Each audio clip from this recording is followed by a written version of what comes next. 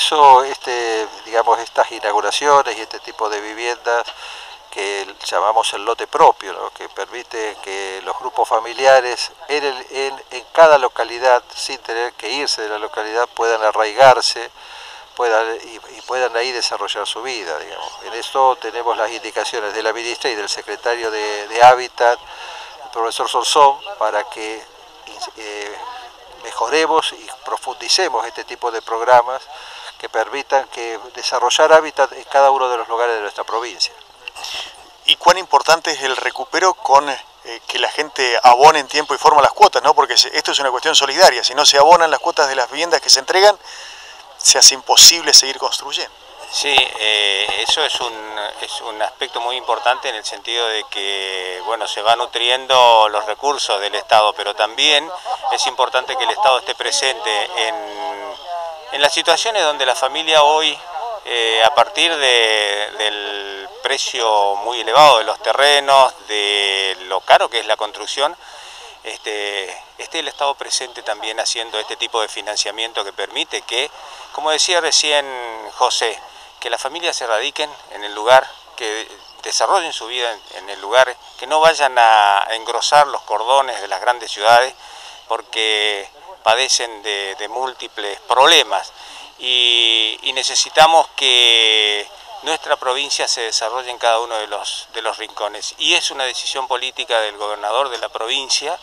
este, atender a todas las necesidades de cada una de las poblaciones, dándole un fuerte impulso a, la construcción de vivienda, pero también a la recuperación de aquellas viviendas que están en estado este, lamentable, deplorable, como son los ranchos. Eh, yo recuerdo la, frase del gobernador en la apertura de las sesiones legislativas cuando dijo no más ranchos en Santa Fe y es por eso que estamos trabajando fuertemente junto con este, la dirección de, vivienda donde contemplamos eh, la erradicación de ranchos, pero también contemplamos todas aquellas situaciones donde el trabajador necesita la apoyatura del Estado para poder construir su propia vivienda. Y, dentro de los distintos programas que tenemos, creo que este, hoy hay alternativas que son accesibles y por el otro lado también estamos trabajando con el Ministerio de Desarrollo, de, mm, Desarrollo Territorial y Hábitat de la Nación, donde está María Eugenia Bielsa, en distintos programas que se están empezando a poner en, ejecución. Si bien es cierto, hoy estamos con una limitante muy fuerte, que es eh, el tema de la pandemia, eh, no obstante se, sigue trabajando dentro de, esas limitaciones, pero este, se sigue trabajando de manera de poder llevar adelante este tipo de programa como el Argentina Construye, el Argentina Construye Solidario, el Argentina Hace, que son alternativas justamente para que eh, cada una de las localidades pueda encontrar en, en estas políticas públicas del gobierno nacional y del gobierno de la provincia este, alternativas para, llevar adelante en cada una de las localidades. Los montos eh, que tienen ustedes para la ejecución de estas viviendas en lotes propios están actualizados porque algunos jefes comunales decían se, se le hace muy difícil a la familia este, aportar esa diferencia entre lo que el Estado brinda eh, y el material que les permita cierta durabilidad. Sí, ese es el esfuerzo que estamos haciendo ahora de eh, precio del prototipo, nosotros le llamamos prototipo a este tipo de viviendas, eh, lo más actualizado posible, de manera tal de que entre que se fija el precio de la vivienda y que se empieza a construir pase poco tiempo, porque en una situación inflacionaria como nuestro país, eh, eso verdaderamente perjudica al adjudicatario. De cualquier manera sabemos que siempre algo de esfuerzo del adjudicatario va a haber, porque incluso hasta es una cuestión de pedagogía y de justicia que todos pongamos algo para tener algo tan importante como es la vivienda.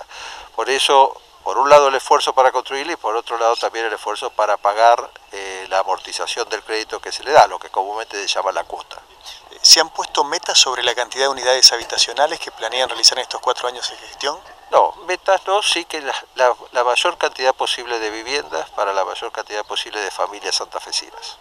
Y la última, ¿cómo se hace la selección? ¿A qué eh, localidad darle y a qué localidad este, decirle eh, esperen un poquitito más? No, estamos trabajando con las 365 localidades de, la provincia. Lógicamente que también depende un poco de, la actitud del referente distrital, que es el que en todo caso eh, realiza las gestiones, pero nosotros estamos atendiendo a la totalidad por orden del gobernador que se atienda a los 365 este, municipios y comunas que tiene